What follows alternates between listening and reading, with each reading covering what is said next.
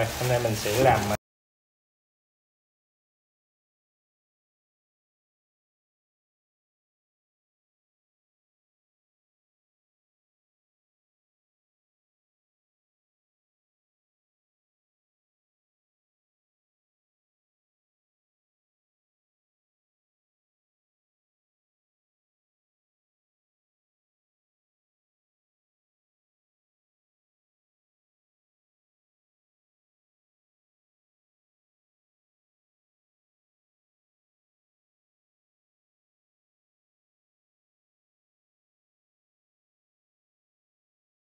rồi ok ha. Cá mó mình đã làm sạch các bạn.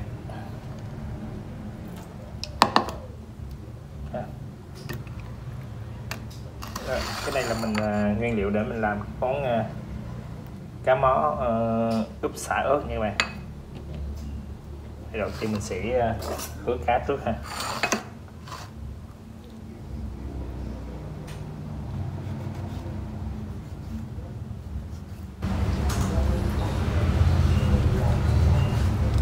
Khứa cá để mình ướp cho nó thấm nha các bạn.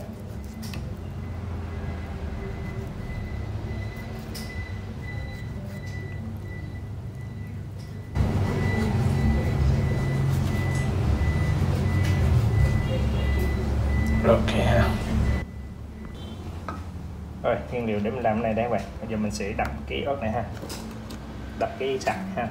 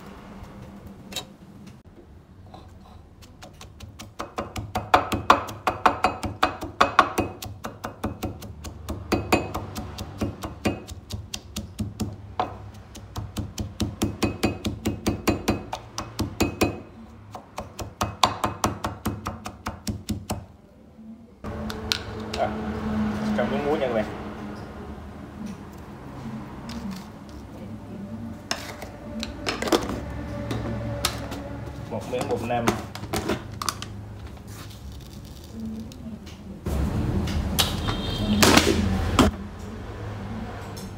Một miếng bột ngọt các bạn.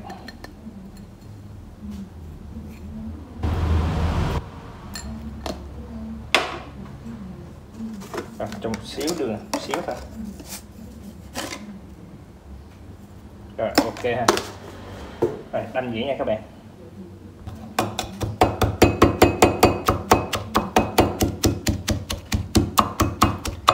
Khi đâm mình bỏ miếng muối với, mấy cái gia vị này vô nó dễ đâm hơn ha. Nó không có bị văng ha.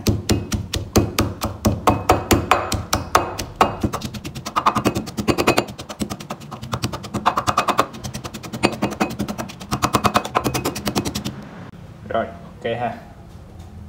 Cho vào ha.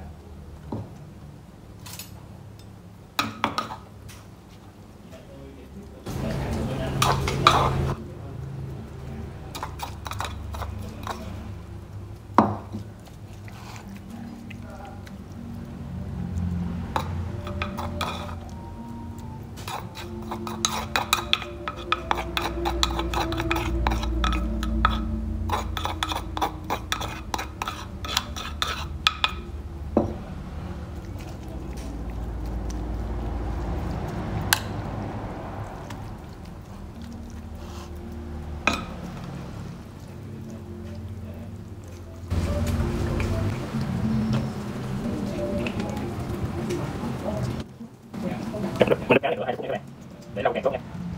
Sẽ thắng được này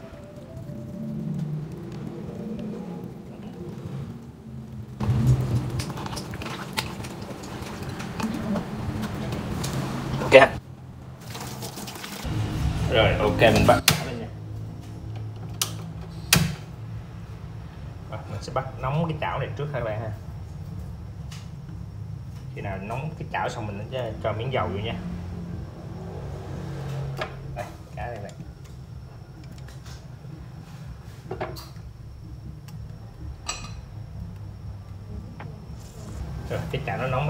Dầu vào nha các bạn.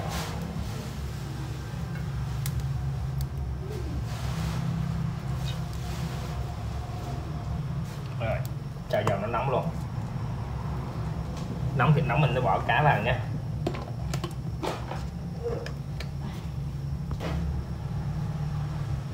cho miếng muối vào nha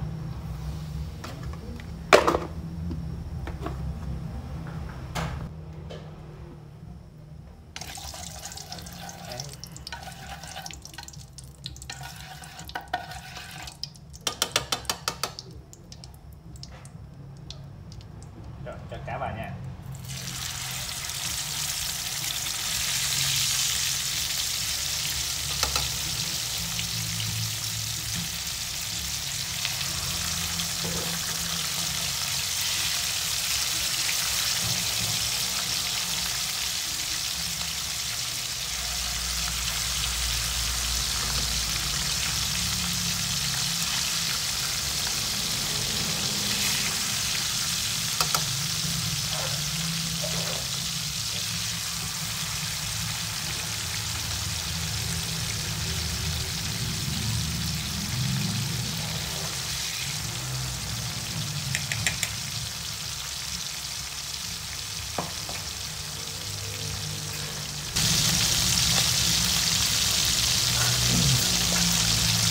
rồi mình sẽ đảo mặt ha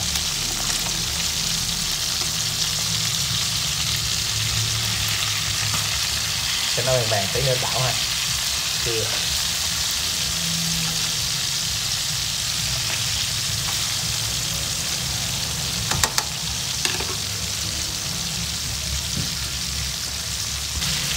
rồi, mình cỡ mặt các bạn ha. Mình chiên cá như vậy nó không có bị ờ, dính cá ha Đấy.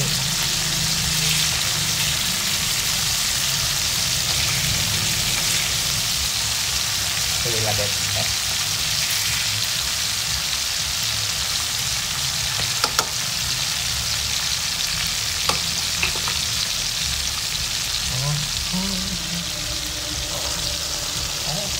Đấy, còn bốn con nữa ha rồi.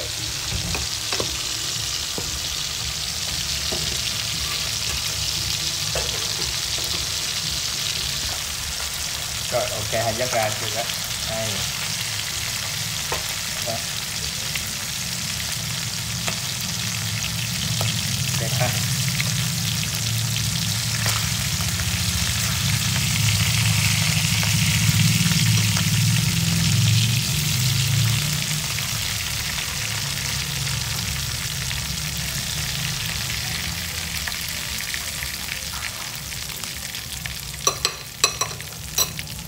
rồi cho nước này vào ha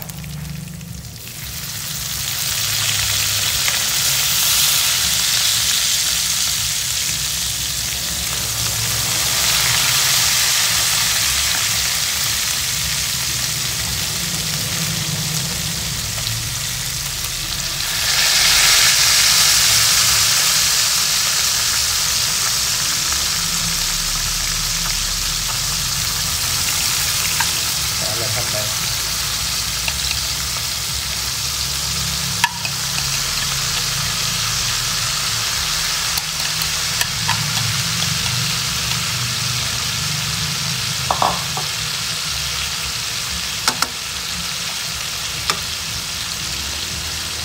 rồi đảo qua ha ừ, thơm lắm cả nhà ơi.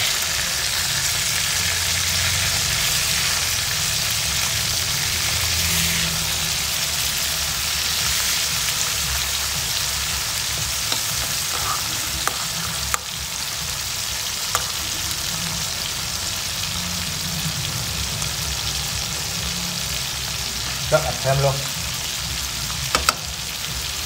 Món ăn đơn giản nhưng mà rất là ngon nhé cả nhà xem ờ, thấy hay thì hãy cho mình một like và đăng ký nha cả nhà. Cái này cá mó uh, muối xả ớt nha. Rất là thấm cơm. Rồi ha món này vậy là xong các bạn ha. Đối với mình chiên thì ờ, không cần giòn ha. Còn cái độ thịt của cá là ok ha. Không phải chiên giòn đấy nó còn cái độ thịt độ dày của, của cá hai bạn ha đấy, nha. Rồi. Giờ mình đã hoàn thành cái món này nha cả nhà. Rồi xin chào và hẹn gặp các bạn ở clip sau nhé